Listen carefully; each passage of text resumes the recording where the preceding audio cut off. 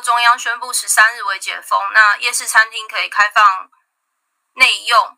哦，那这个部分的话，百货业者的看法跟应应的措施。那刚刚的话，其实我们的就是呃，百货业者柜位，尤其是在美食相关餐厅业者的这个部分，其实他有特别提到，是说他觉得听起来是他其实觉得这件事情是蛮消极的，他并没有觉得说为解封就能够解决目前在百货柜位，尤其是在美食街的业者的这个问题，因为。毕竟可能就是开放内用这件事情，可能人流没有办法一下子回复，那再加上其实餐厅的业者他们也需要做许多在呃防疫相关的措施，所以在这部分的话，听起来是说还是他们业者的第一线的说法，还是比较期待。如果今天疫苗的覆盖率能够提升的话，才有办法真正解决现在目前大家遇到疫情的问题。那当然也会担心说，如果今天呃微解封或者真是解封之后，疫情会不会再突然的一个爆发，对于业者的冲击会可能更大。所以在这部分的话，我觉得就是还是很希望政府能够把疫苗的部分能够尽快的来做购入。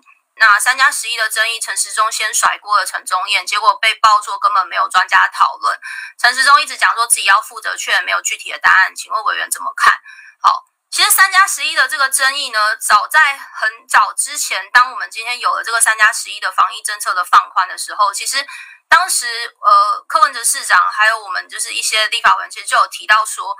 三加十一的政策放宽到底是谁决定的？到底有没有工位专家来参与？到底有没有工位专家来签字帮这个决议背书？因为就我们所知道的，其实呃这一次的 COVID-19 的新冠肺炎的疫情呢，其实它有一个很大的特点，就是它在有症状之前，它其实就具有传染力。那同时，它的潜伏期可能到五到七天都有可能，所以在这情况之下，我们对于边境的管制，如果今天放宽到所谓的三加十一的话，那只有三天的这个我们讲说检疫隔离，那到后面十一天是属于自主健康管理。那这样的话，自主健康管理的这个环节就特别重要。所以呢，今天我们看到，如果今天要放宽到三加十一，那有可能在三天的这个检居家呃，就是那个我们讲说隔离旅馆的这个检疫完之后。他可能在后面的十一天里面，他是还是有很大的机会，他有可能是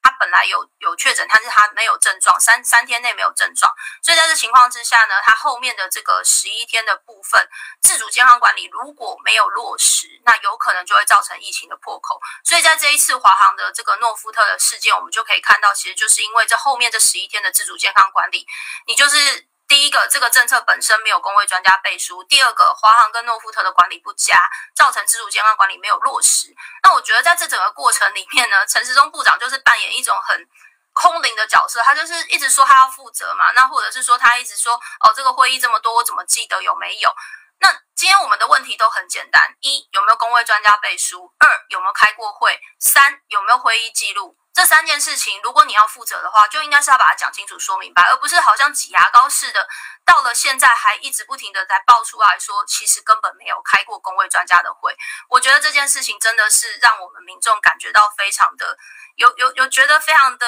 就是感觉是不知道为什么政府会这样子面对一个重要的工位决策。那当然连带的，其实大家的对于政府的信任度也会跟随着下降。台北市长柯文哲昨天接受专访，认为绿营蒙打国民党特权疫苗，提到他手上有总统府的疫苗名单，威胁可能会公布。呃，对此委员怎么看？呃，我想总统府跟中央机关确实哦，我们之前在讨论这个疫苗的分配给各地方县市政府的时候，其实就有发现说，其实总统府跟中央机关确实有挂了一些部分的数量的疫苗在北市府。